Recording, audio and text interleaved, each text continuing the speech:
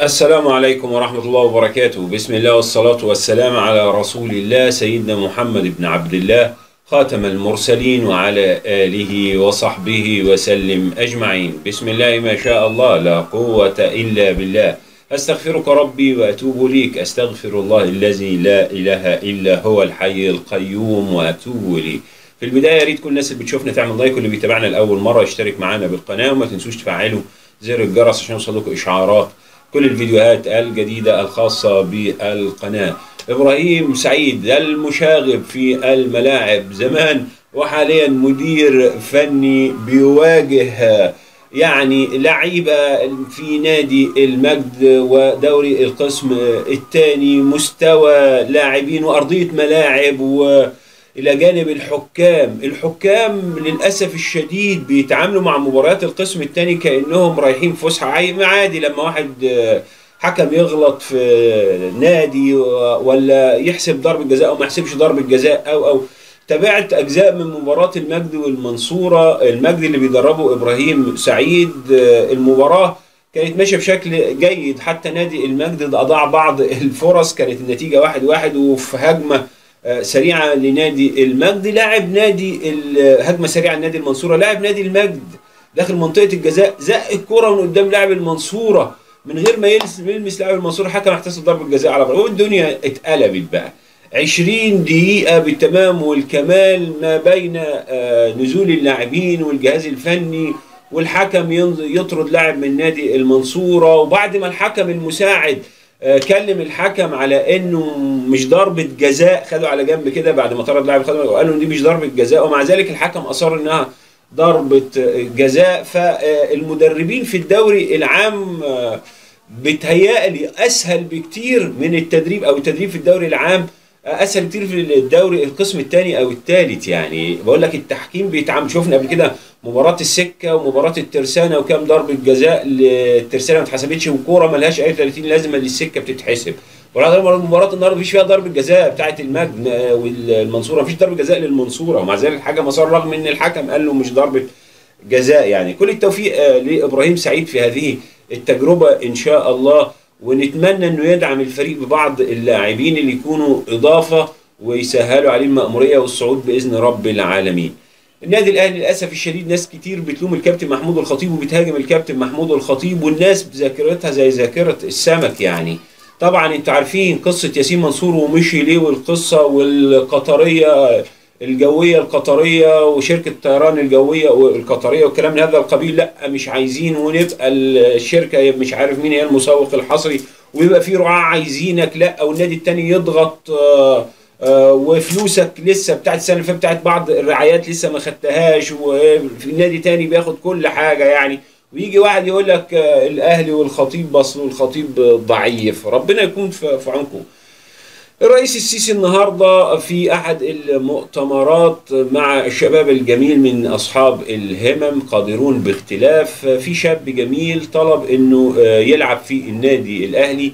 فالرئيس السيسي قال له ما تدخلنيش مع الأهلي والخطيب يا محمود ما تدخلنيش مع الأهلي والخطيب. فكلم الوزير الوزير قال له طيب حاضر يعني بيقول سهلة إن شاء الله. طبعا كابتن محمود الخطيب من خلال بيان رسمي على النادي الأهلي موقع رسمي النادي الأهلي قال لك خالد العوض كلف الكابتن محمود الخطيب خالد العوض مدير النشاط الرياضي والكابتن عجمي رئيس جهاز ذوي الاحتياجات الخاصة وياسر داوود رئيس جهاز ألعاب القوى باستقبال الشاب محمود أحمد من أصحاب الهمم وبطل ألعاب القوى لتحقيق رغبته في ممارسة الرياضة المفضلة داخل النادي الأهلي. وديع الجريء وديع الجريء رئيس الاتحاد التونسي بياخد خطوة جريئة ألا وهي تعيين عصام عبد الفتاح رئيسا للجنة لجنة الحكام في الاتحاد التونسي لكرة القدم رغم إن في عدد كبير من المحتجين على تعيين عصام عبد الفتاح في تونس لكن هل هذا وراه غرض آخر؟ دلوقتي بعض الأصوات بقى اللي مؤيدة لرحيل مارك كلاتبر إيه!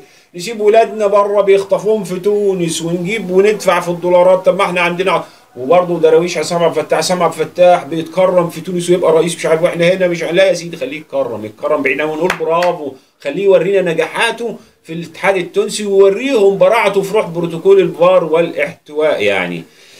النادي الأهلي اقترب بنسبة أكثر من 90% من الحصول على خدمات اللاعب محمد ضو كريستو لاعب نادي النجم الساحلي. اولا بسبب الظروف المالية اللي بنمر بها النجم الساحلي وكان محمد المكشر اتكلم في هذا الأمر الفني وقال لك وأعلن بنسبة كبيرة قصة الفلوس بقى والأمور المالية هي اللي هتحسم الموضوع. ولو انتهت خير وبركة ما انتهتش أمير توفيق هيسافر لتونس ينهي كل الإجراءات المالية. قال لك جماهير النجم الساحلي شنت هجوم على عثمان جنيح رئيس نادي النجم الساحلي على مواقع التواصل بسبب رغبته في بيع محمد الضوي للأهلي ورئيس النادي التونسي متمسك بيعلى بتقليص الديون وتفادي خصم النقاط والمنع من التعاقدات.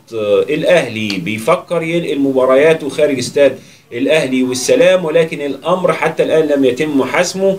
والنادي الأهلي بيفكر ده بسبب مشكلة الجماهير والأزمة في دخولهم والقلق واللباس وبعد المسافة آه، فالكابتن أو وزير العمري طبعا عارفين النادي الأهلي كان شكل لجنة ضمت لعمري فاروق وأيضا الجرحي وانضم لها مؤخرا محمد سراج والجرحي زي ما قلت لحضراتكم لجنة إدارة المباريات في النادي الأهلي بتدرس نقل مباراه استاد القاهرة بسبب ابتعاد ملعب الأهلي والسلام عن الجماهير والرغبة منذ البداية في تغيير الملعب بسبب صعوبة مواجهة الفرق الدفاعية. الملعب كنز شوية ضيق يعني. الفرق اللي بتبقى عليك بتبقى الأمر صعب يعني. فإن شاء الله خير بإذن رب العالمين. بالنسبة لخالد الغندور بيقول لك إيه؟ تصويت لاعب الجولة. قال لك في سيرفر بيتحط على تويتر كده بنص دولار أو دولار. يصوت لك هو 10000 واحد يصوت لك 10000 ويطلع واحد إعلامي يقول لك شعبية أي حد عايز شفافية وشعبية ومصداقيه يوافق على اقتراحي بالتصويت عن طريق تذكرتي.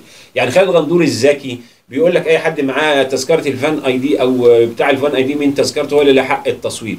يا راجل يا طيب معنى كده إن شعب كم واحد زملكاوي معاه ال fan ID؟ عمرهم ما هيزيدوا ال 150000 اللي بيلف ورا الفرقة في المباراة عمرهم ما يزيدوا عن 150000 والأهلي كذلك عمرهم ما يزيدوا عن 150 200000 معاهم ال fan ID دي. هل ال 100 ولا ال 150 المسجلين في تذكرتي هم كل الجماهير يا اذكى أخواتك قال لا لأنهم قريبين من بعض هو حاسس لا يا سيدي. أنا بقول لك انزل بالكاميرا بتاعتك أنت. وانزل. بكاميرا اسأل الناس تقول لي الشعبيه واحد وتتريق على أنت مصدق نفسك؟ والله إن جمهور الزمالك ما مصدقك يا خالد غندور. والله إن في قطاع كبير من زمان أنا الزمالكاوي موجود معاهم. أنا عايز واحد محترم زملكاوي يطلع يقول هل شعبية الأهلي قد شعبية الزمالك؟ والنسبة كام يعني؟ وأي واحد شوف شارع بتاعك يا عم في كام واحد زملكاوي. الزملكاوي اللي هيخش يقول أنت بتصدق نفسك خالد غندور ولا إيه؟ أنت راجل طيب. يا أخي أقسم بالله الكلام بتاعك ده بيضحك الناس عليك. قال لك الفان أي دي. هم جماهير الكوره هم بتوع اللي بيحضروا مباريات طب واللي قاعدين على القهاوي واللي, واللي, واللي بيشتغلوا والفلاح واللي ما يعرف واللي ما نزلش القاهرة خالص ده ملوش اللي في أسوان اللي في البحيرة اللي في الشرقية اللي في الاليويه وما بيروحوش مباريات ولا بيلفوا في دول ما لهمش علاقة بكرة دول مش جمهور يعني ولا إيه؟ صحيفة ديبورتيفو اتكلمت آه، إن برشلونة بيرغب في ضم كيليان امبابي في الصيف المقبل رغم الأزمة المالية اللي بيمر بها نادي برشلونة وقال لك بيرغب في منافسة ريال مدريد خاصة إن امبابي رفض انتقال إلى نادي ريال مدريد الصيف الماضي. آه، بعد ما اتفق مع كل شيء مع بريز رئيس نادي ريال مدريد وقال إنه تعرض للهجوم من جماهير ريال مدريد وفي ظل الأزمة اللي حصلت مؤخرا آه، مع آه، وظل الأزمة اللي حدثت مؤخرا مع ميسي وسماح ميسي لمارتينيز إنه يشيل لعب دميه كده عليها صورة إمبابي ساخرا منه. وقال لك توتر العلاقه بينهم ربما يسمح بانتقال أو يقر بانتقال كيليان إمبابي لنادي أو ابتعاده عن باريس سان جيرمان أو رحيله عن باريس سان جيرمان. ميس آه، كهربا من خلال صفحته على انستجرام بيقول لك سيأتي العوض العوض الذي لا نعلم مداه ولا نتقن حجم تدبيره فقط نؤمن به. كيفما كانوا على أي شاكلة أتى لا نعلم. فقط نعلم أنه من الله وسيأتي الجبر وطمأنينة القلب. نحن نؤمن بذلك مهما طال الصبر لأنه وعد مؤجل من عند الله. معتز الشامي. بعد ما قال لك إيه كهربا مش هيلمس كورة غير مش عارف إيه. كهربا يتوقف من ست شهور لسنة. لازم يدفع قبل ما يلعب. وقاعد يضحك على الزملكاوية. ومرتضى منصور قاعد يقول لك تابعوا معتز الشامي هو حلو بيغيب الجمهور وخالد الغندور يقول نفسك النهارده معتز الشامي كلامه اتغير والجمهور برضه بيسقف له الجمهور الزملكاوي. طالع على صفحته بيقول لك إيه؟ صباح الخير بعد انتهاء مدة الست شهور تبدأ إجراءات الزمالك بطلب تجديد الإيقاف من فيفا. متى يتوقف قال لك بحسب قرار لجنة الانضباط ربما أسابيع أو أشهر بسيطة يحق للاعب المشاركة لحين إيقافه مجددا. لا يسجل خارجيا إلا بمخاطبة فيفا للتأكد. الخلاصة الإيقاف سيحدث مجددا. ده كلام الأخ معتز شامي طب ما إحنا عارفين إنه لازم هيدفع في الآخر. لكن يقول لك لا ما أتحدى وأتنحنح و... أنت يا عم في إزاي؟ أنت زملكاوي أنت لايق على خالد الغندور ولايق على بعض جماهير الزمالك ولايق على على رئيس نادي الزمالك يا معتز هشام يعني. الحاج عامر حسين تعقيبا على قرار مرتضى منصور بدفع الفلوس الخاصة في حساب نادي الزمالك للضرائب مستحقات على نادي الزمالك.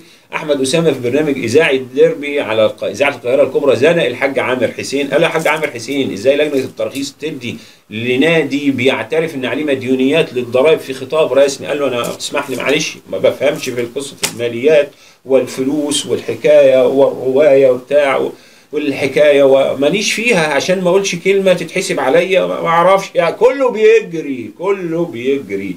في النهاية شكرا على حسن متابعة حضراتكم ودمتم في أمان الله ورعايته. أستغفرك ربي وأتوب إليك. أستغفر الله الذي لا إله إلا هو الحي القيوم وأتوب إليه. ودمتم في أمان الله ورعايته. والسلام عليكم ورحمة الله وبركاته.